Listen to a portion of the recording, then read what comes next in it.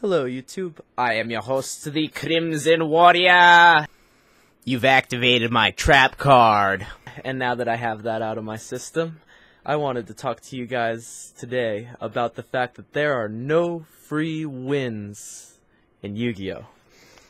I am absolutely sick of hearing players complain that their losses are just because they got locked out or just because of the turn one build up board. Now, while it's very true that the turn one build up board is becoming a big problem, 50% of your games, most likely, are coming down to skill, are coming down to the grind game, where you and your opponent are going into an exchange like state where you, every single interaction starts to count. And I'm saying this because I feel that I used to be a lot more competent of a Yu-Gi-Oh player. I used to, with my Black Wings, my Shaddolls, and my Ritual Beasts back in those format, I felt much more confident and I did a lot better as a player in the format because I understood the cards and the interactions, what was going on, the main decks and how to fight them. I was learning all of these things over the course of the two years that I played while in high school. And it really led to me getting a grasp of the game and feeling like I was in a lot of control over my game states. Now, fast forward to 2019, two years, maybe a year after I dropped out. I don't remember how long I've stopped playing. Whenever Links became a thing, I uh, I stopped playing. So since then, until a month, two months ago, I have not been playing. And now I play Salamangreats, and I have access to all of the cards a Salamangreat player could want. I have my triple Phantazmay. I have my triple Cynet Minings. The deck runs exactly the way I want it.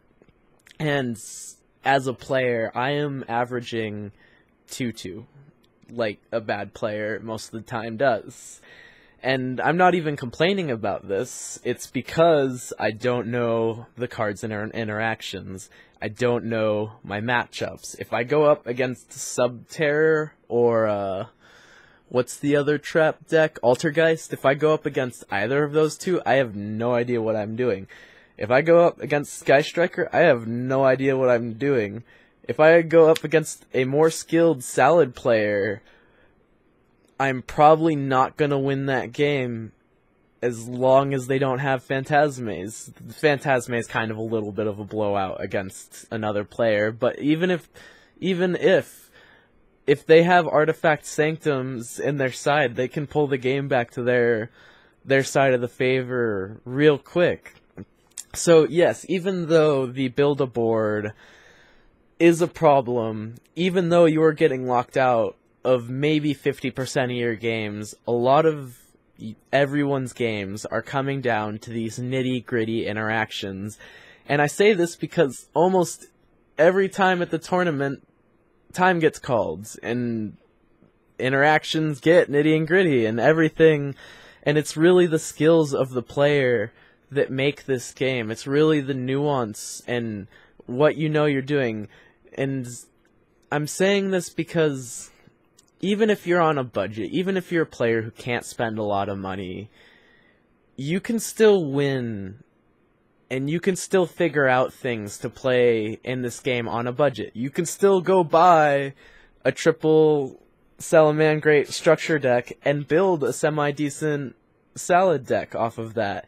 Now, you may want the minings, you may want the Phantazmays, but there are skilled replacements if you know your interactions and you know what weaknesses you need to start covering. Now, if you don't understand these things, even with access to your playset of Phantazmays and your playset of Cynet minings, or whatever expensive card you want. Like a couple formats ago, and I think Zoo format, when Solemn Strikes were ninety dollars because you needed to strike the Zoo monster, or else you couldn't play the game. There are still other cards that you can play as long as you understand the game and as long as you understand card interaction. Everything in this game comes down to skill. And sure, there's the games that you get Lancea. Sure, there's the games that you fight the $600 Thunder Dragon deck and he gets his absolutely bonkers board twice in a row and you can't do anything. But a lot of your games, if you're going 2-2, you are losing because you are not making the correct choices in your duels and you could really do yourself and those you duel a massive service by starting to learn your interactions, learn the game, get better at what you're doing instead of blaming your losses on cards, on situations, on your opponent, on decks, on entire archetypes. It's like I don't hate Sky Striker because I lose to it constantly. I wish I could fight it more or knew a Sky Striker player who I could play against so that I could start to get better against the matchup. I feel the same way about Thunder Dragon, except for I really don't feel like I need to fight Thunder Dragon at all because my locals doesn't have it, so I don't need to account for it. On the other hand, I'm constantly fighting other Salad players, and I'm constantly fighting Orcust players. So I'm starting to learn these matchups and interactions. And as you start to do that, mathematically your percentages of winning as a player go up slowly over time. And sure, you can get the lucky regional top, or sure, you can get your lucky locals top, but playing these small mathematical gains on your skills are statistically skewing the graph in your favor to continue winning the game. And I say this as a player who's lost a lot of their skill, a lot of their knowledge. I no longer am comfortable in the meta I am in.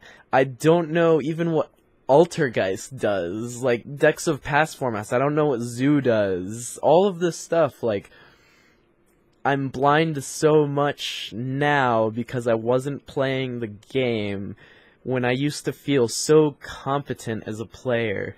And what I want to bring to you guys is a way to to get that feeling back for yourselves as well because I know that all I need to do is to play these games to learn these interactions and I can start statistically improving my skills and start winning games.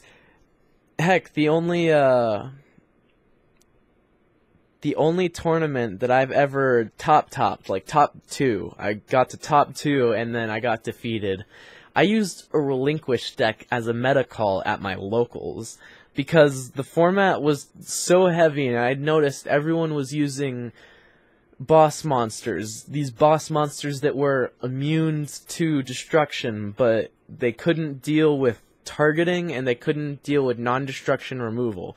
So I used Relinquished, and because people were putting all of their resources into making these monsters, because people weren't accounting for targeting and non-destructive removal because the meta at the time only cared about destruction. I managed to get top two understanding the interaction of relinquish taking my opponent's boss monster when I go second is probably hugely detrimental to their game state because sure I go neg 3 oh, neg 2 summoning relinquished but then I make them go neg 1, so really it was uh, only a neg 1 for me to summon Relinquished. I still have two cards in hand to do something with, and most of the time they were already, they probably had the same amount of cards or less because of how many resources they were using to get into these boss monsters. And that was only because I understood card interactions. With the piddly relinquished deck that I built together with three preparation of rites before it got banned, way before, not way before, but before Nekroz came out and everyone was worried about that. But, and like when ritual support was finally just starting to get consistent. And that wasn't a multi hundred dollar deck. This was like a hundred dollar ritual deck, triple Manju, or uh, yeah, triple Manju, just all kinds of random stuff that a kid player had access to. And it's like you can win games, you can win tournaments off of these limited card pools if you understand the games and its interactions. But if you don't understand the games and its interactions, you are not going to win even with the hundred dollar cards, even with the several hundred dollar cards. There's no such thing as a free win, and you cannot buy yourself to victory. And take this from a player who went from having no disposable income to being able to get any card that I want, really. Like, I can get anything I want as long as I budget enough for it because I save money and I save my income and I budget. I can buy whatever I want. Now, I have a hard time justifying ridiculous purchases, especially if it's not going to start winning me games. But even with the access to the Phantazmays, to the Cynets, sure, I don't have the Borrelsword, but I plan on fixing that soon. Um, but even with access to all of these things, I'm going 2-2 at locals like most of your average players. And I could be doing so much better, and so could so many of you guys if you just took responsibility for your games. If you could just be like, yeah, you lost. If you could just accept that and move on and figure out why, how to change it next time, what you could do in your deck building process to accommodate for this, like, a huge part of winning against the meta, especially as a rogue or anti-meta player, is accommodating for what you're going to be playing against. What are the top four? What are you expecting to fight? What's what's the most prolific at your locals? Like I would probably have a great time at locals running my Nekroz deck if I understood its interactions, and because the two main decks at my locals are Orcust and Salad. And if you Unicorn lock a Salad deck or you Vanity lock a Salad deck, let's go to game two. It's over. Like, unless you got the, uh, the rage instantly, you're, you have no out to my vanities, so the game's over. Now, the reason I'm telling you guys this is because I want all of us to do better, and making excuses is not going to make you feel better in this game, and it's not going to contribute towards your next victory. So I really hope that you guys can take this advice and synthesize it and start taking responsibility for your game states, realizing when you start losing control of the game, realizing how you could start doing better at the game. All of these things are things that that you need to do if you want to expand upon your base as a Yu-Gi-Oh player. And I share this because we all want to get better at Yu-Gi-Oh! Everyone who plays it, from the most casual of casual running your Dark Magician deck to the most ultra competitive dude running your Thunder Dragon deck. We all play because we want to feel good at something and because we want to be part of this community. So why not do your absolute best? And also, it's just such a rewarding feeling when you beat a player who's trying to do their absolute best. When you come up and you fight me at locals with your deck and you win, I did not let you win. Okay? Even when I duel kids, and this is controversial, I do not let them win. I play sloppily against kids so they have an easier chance of winnings if their deck are is built for around you know actually beating your opponent if their deck actually has a has an idea that it's going for and I get sloppy with my resources that kid has a genuine chance of winning and any other opponent I fight I'm going full bore against I don't care if you're running the absolute worst crystal beast deck in the world I do my best as a player always because when you get your win from me, you earned it.